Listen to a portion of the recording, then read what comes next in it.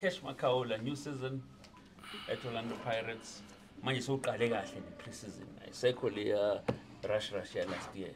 Uboneni nge-preseason? eSpain to be quite precise. Nga ngibona into ezi-right ngibone konke okuhle Eh, beku-right ukuqala ne-team because eh, manje sengiya-understand ukuthi no ucoach ufuna ini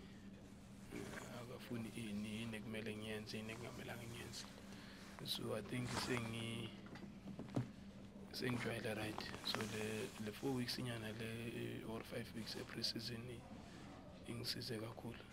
So looking at your at your stay last season, you came in and you had a few matches, but then you spent some time with the benches. Is it something that the coach uh, said, "Who, uh, okay, you're gonna play this much, you're gonna sit out this much"? Just take us through your con- not basically your conversation with the coach, but how it is um, lined up. Is it something, or was it performance driven, or what was the story with, with that? Ah, into engingayisho all i can say is that um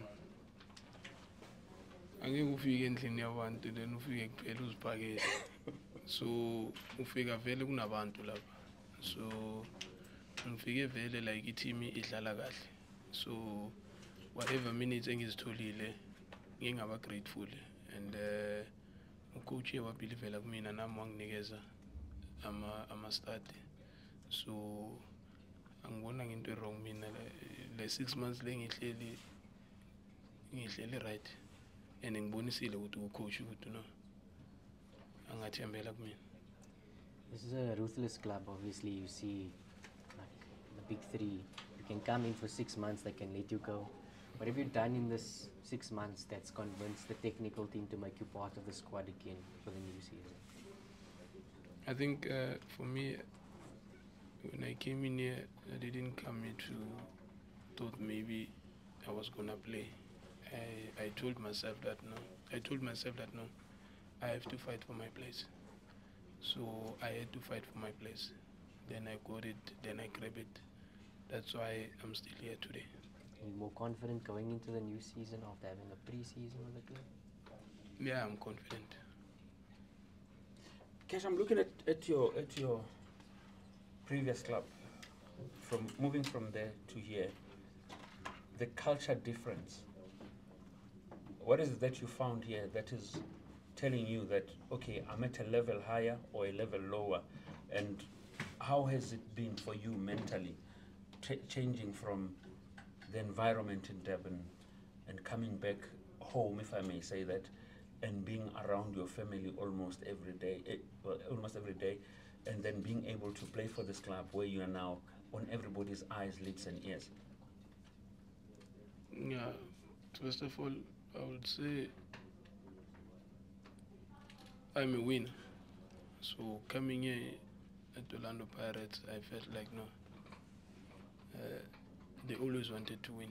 They always wanted to compete for for every cup, for every match. So, not that there's any difference between uh, Amazulu. They don't want to win. They also want to win. But I feel like maybe the environment is too different than the. So here, you see now I'm going to a Champions League, and uh, yeah, so it's obviously I also went with Amazulu, but now it's a different environment, and uh, from the group that we like we have here, I can see that they they want to win and go all all out, maybe to the finals. Mm. Yeah.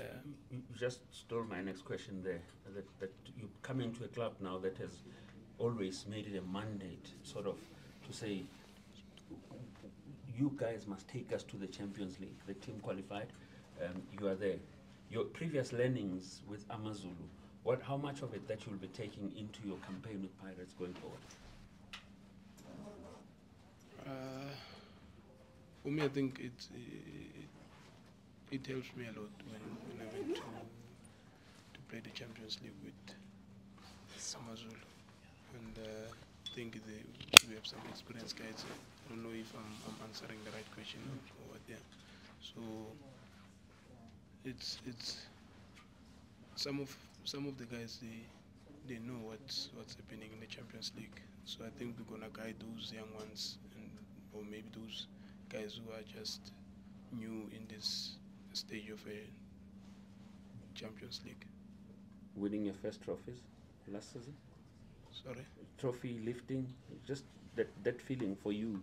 I mean, is it is, does it fulfill what you've always wanted, winning things with Orlando Pirates while you were still in, Mm. out of out of the club? Yeah, it was like um, because I do have medal, like a medal with uh, my previous team, but Mm. it was I don't know.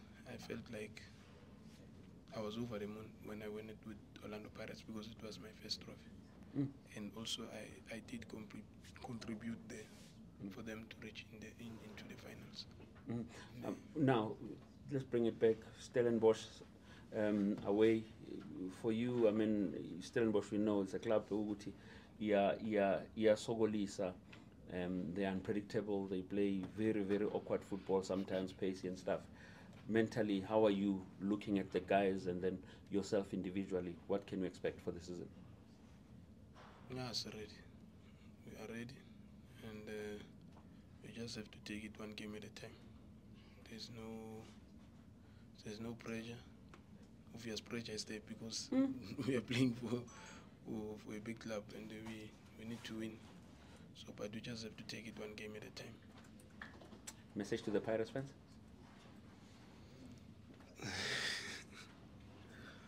I would, I would like to say to them, they must come and support us because the way they did last year, it was unbelievable. So we just need them to be our our 13th player there on the field. Cash, cash. Thank you.